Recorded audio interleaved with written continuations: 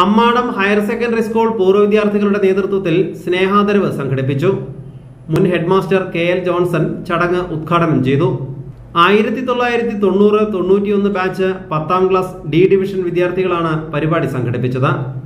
അധ്യാപകരായ A O Varghese Florency ലൈസ Kochuthresia Indira school പ്രധാനാധ്യാപകൻ സ്റ്റേനി ചാക്കോ എന്നിവരെ വിദ്യാർത്ഥികൾ ആദരിച്ചു.